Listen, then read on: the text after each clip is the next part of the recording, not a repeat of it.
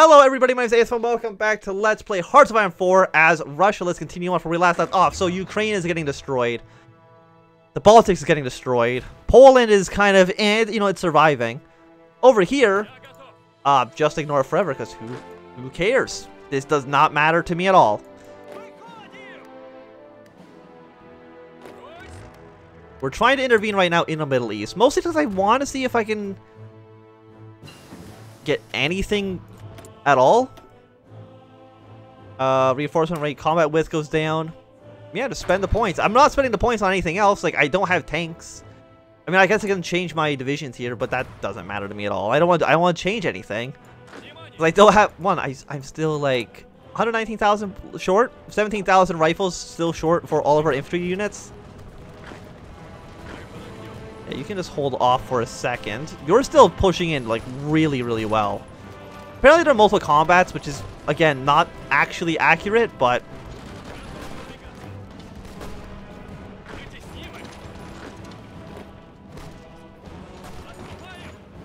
Can you actually move into this territory? The answer is no. You stop for a second. Hold position. So yeah, reinforce these armies. That's great. You stop that because it's not, it's really not working out well for you. And for the most part, things seem to be doing pretty well. Let's see if we can attack into here. You're trying to attack in there. Not with like, a ton of success, but, you know, it looks like without much failure either.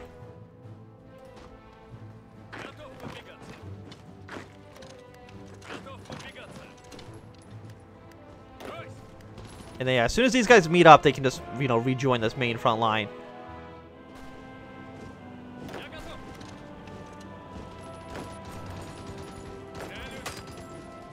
Oh, stop attacking that city. Attack.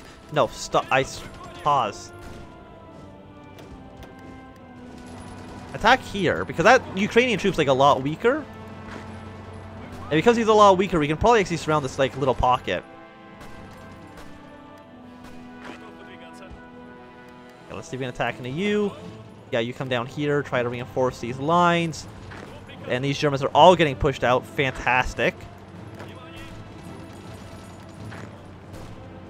Okay, so that, that, that battle is definitely going to be one in our favor. We are very close to Riga, and taking over Riga is going to basically be these guys capitulating. Wonderful news. Can we go to war economy yet? Partial mobilization. War economy is 200. I mean, no, this costs 100, 100, so it doesn't really make a difference. It's actually amazing that we're we're only on partial. I mean, you're also on partial as well. Every, actually, everybody's on partial. Except for Britain and... No, really just Britain. They're the only ones who are not. Actually, I think you guys can stop attacking for now.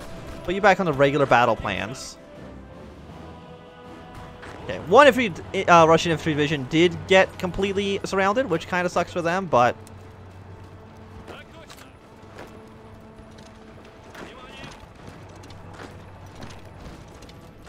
kind of spread out. Blue Army, you're actually not... You're not doing fantastic. I'm going to send you back to some regular battle plans. Continue any battles you're currently doing, but... Okay, you can actually hold. You can stop for now. That's a Belarusian troop, so I don't really care what they're doing. Like, we are just doing actually fantastic. How many troops do you have? Again, still significantly less than all of your allies, so... I don't know what the big problem is. You think you can just abandon this front line? You think the AI can really deal with... And how the AI is definitely to lose there. Can I get a non-aggression pact with anybody here? No, they just don't like me. I can improve relations, but... I don't even know if the, does the non-aggression pact have anything to do with focuses? I don't think so. I mean, I don't know if the... Okay, yeah, you just stop attacking for now. Take over here. If we again, if we take over Riga, if we can take over Kovno, we can probably get these guys to capitulate relatively quickly.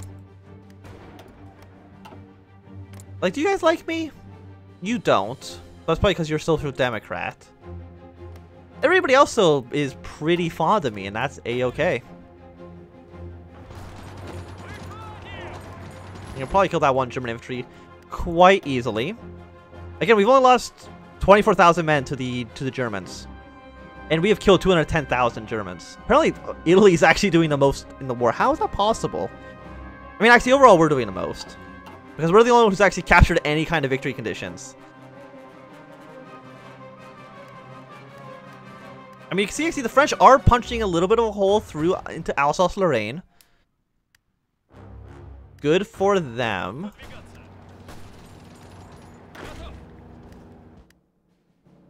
How are you guys all doing? You, you actually don't have a battle plan anymore. Your offensive line is basically going to be push this way. I don't know why it's such a weird arrow like that, but sure. Whatever you feel is right, you do that. Yes, yeah, you guys all now redeploy. You go try to see... No, okay, don't attack anybody. But see if you can get to, like, a city so that you can have some supplies. I don't have high hopes for you, but it is theoretically possible. Okay, Riga actually is like extremely heavily defended at the moment. Yeah, so you guys just uh, hang out for the time being. How many troops does Ukraine have? They have 20 to 60 divisions. 5 to 6. Not a lot. These are actually mostly like Lithuanian troops. Actually, there's a lot of Polish troops here as well. Remember, making 100 rifles a day. I mean, again, it's not like a huge impact because we have a surplus of motorized. So make even more rifles. That's really the only thing I can say is just make even more rifles than we were before.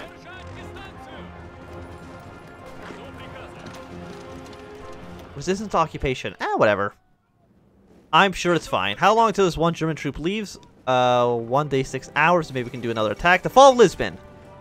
Not a huge surprise. Did you see what was going on over there? It was an actual disaster. And how come nobody right now feels confident attacking? Do they think there's a superior enemy? They don't. German Air Force is massive compared to our tiny-ass uh, army. Also, I have not recruited any of these chief of staffs or anything like that, or any companies. Portugal has capitulated. Yeah, I'm, again, not entirely surprised by that. So we're worth all of you. I'm surprised that you're not giving military access to... Oh, no, you are giving military access to, um... The Germans. Again, I really wish I could just offer them peace. Because... Like, I don't want to be at war with these guys. I, you know, in hindsight, I should have just stayed out of the war. Mongolia and Tibet could have just dealt with that on their own forever. And I would never would have had to think about it ever again. You just, don't, you just defend yourself. You'll probably be like the first major casualty of the entirety of the war.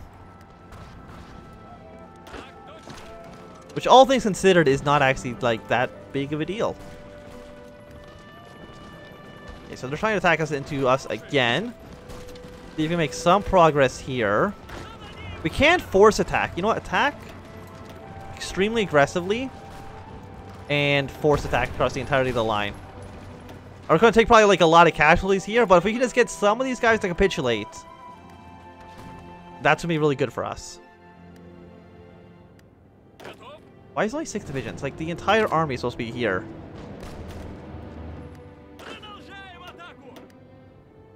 Again, be extremely aggressive in your attacks.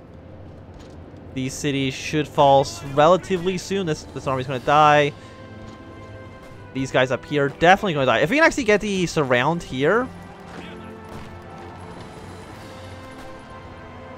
Which doesn't look like we're going to do, sadly.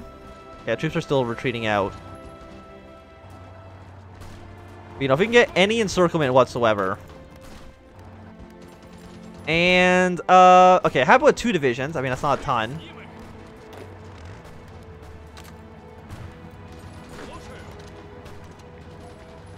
Again, not a ton, but two divisions is better than zero divisions.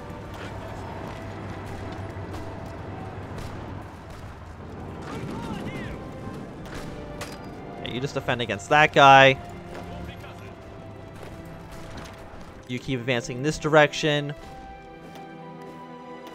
If we can surround Riga, that'd be pretty good for us. So, you know, they're actually over combat with, so they are getting a little bit of a penalty. 25% actually, that's a pretty significant penalty, all things considered. It looks like the French are doing quite well against the Germans in the in the west. You know, so we'll see how this goes. Again, we have 40% war support, or 40% uh, war participation, which is pretty good. It's pretty, pretty good for us.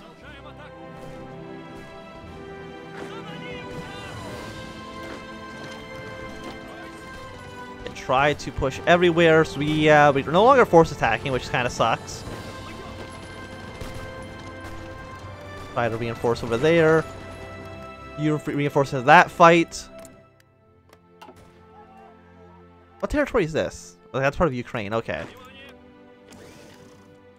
We are not getting imports from you anymore, so I guess we're just going to cancel that. Get more from the Japanese. Thank you. Japan, like, we're friends, right? No, they hate me even more now. They've claimed our ter- Have they? What territory of ours have they claimed? Answers, I have no clue. Unless it's saying that I'm claiming territory that they own. I'm, I'm claiming the north of the island, okay. So that's apparently a negative 20 opinion modifier. Again, how many men have I lost? 125,000. Germany has finally just eked out the NPA. Which, if anything, really just shows that I was terrible against the NPA. Than that the, um... Than that the Germans are strong.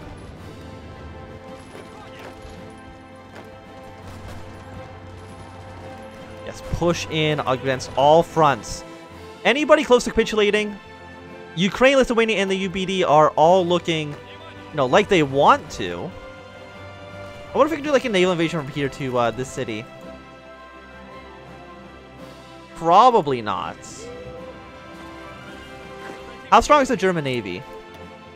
Uh, a lot. A lot of people and a lot of ships. Political power goes up. We just gained somebody. How long for the Middle East thing to be done? Four more days. Okay, so we are getting attacked. Push into you. Again, if we get a full surround on Riga, they're going to take a negative 50% penalty. At least I think so. It's kind of hard to tell when there's like a... When there's like an ocean tile. Whether or not it counts as being actually uh, completely surrounded or not. Oh, fantastic. We are making such quick work of everybody except for the Chinese, but don't... Just ignore them. Look, you are extremely close to being within our grasp.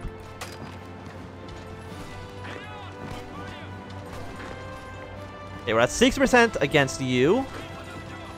You're definitely not going to make any progress here, so you march to that province. I mean, sure, if you want to keep attacking, whatever. I'm not going to stop you at this point. So we're at 60% here. We're at 52%. Uh, how much do we need? We need 61 for a full force attack.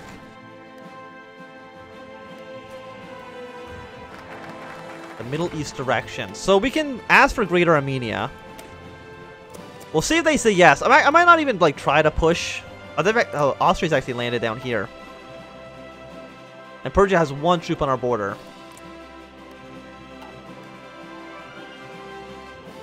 So we'll see if the Austrians can actually make progress.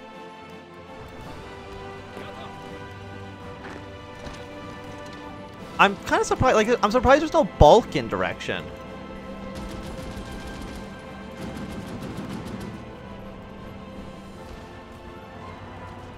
Canada, America, it's not a faction with Ukraine, Japan. Yeah, okay, no, that, that works out just fine for us then. We need more waters. Secure the Strait to Turkey. Ask for Greater Armenia. Well, we'll see if they say yes. If they say yes, then we might try to push our claims even further.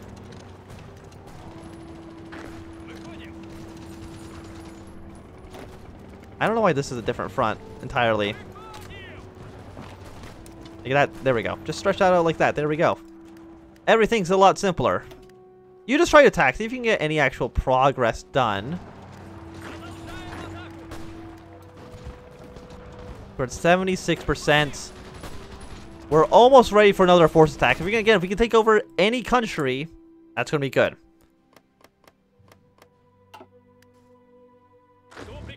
Mean, we are taking some big casualties down here in Ukraine.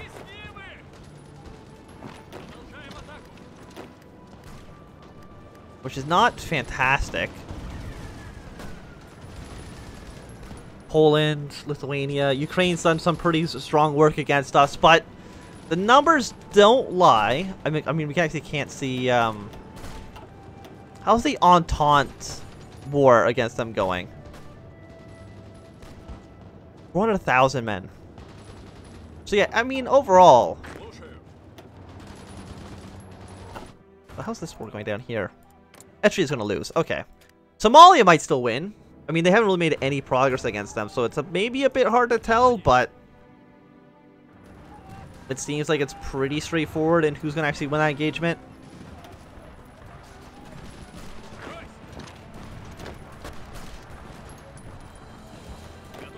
We need to attack these guys just to make sure they do not reinforce the capital.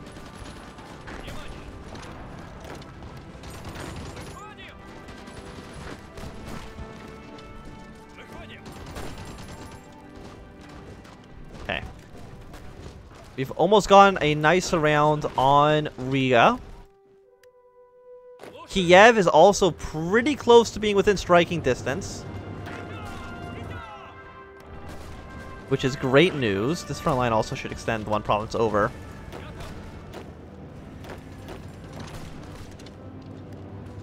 Yes, thank you for making all of our dreams come true.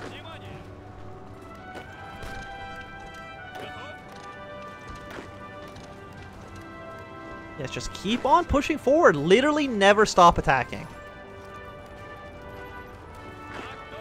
Look at that, like four four straight arrows straight into uh, Ukraine itself. Weirdly enough, they don't actually want to cross the river into uh, Bessarabia. Oh, but that's okay. The center of the line, basically purple here, their objective is really just to hold down the fort.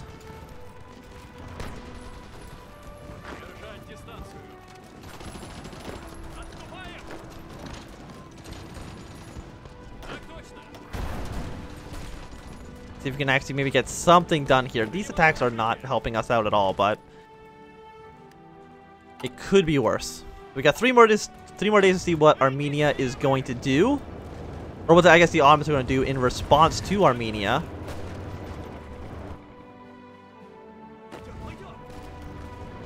They might just say yes, honestly. There's a good chance they're going to say no, but there's not an impossible chance that they'll not say yes.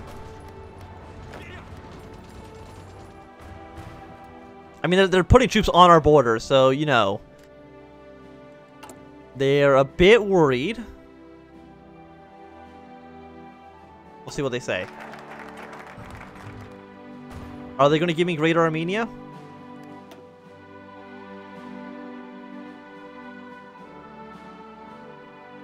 I don't know yet. We're going to ignore all this. We can't do that because we're not a piece of Lithuania by Ruthenia. Okay, so we don't even bypass it? I really thought we would just bypass it, but okay. Claim Bessarabia, builds vessel port. We don't own Crimea, apparently. We control it, we don't own it. Okay. So, overall, I mean, there's still a bunch of other stuff in here, too, that we can be looking at. War support, but we're already at 100%. What do you guys do? Um, create a new bureaucracy or reinstitute these guys. Liberalize the economy, research slot, free civilian factories, war program construction, educate the masses. A free research slot actually is pretty good. Let's create a new bureaucracy, 35 days. in the middle of World War II, let's just make a new Byakushi. What could be the harm? But I do think it's going to be a good time to end this episode. Thanks for watching. My name is Anthem. If you enjoyed, my thumbs up. Not enjoy, you can always thumb down. If you want to subscribe, and goodbye.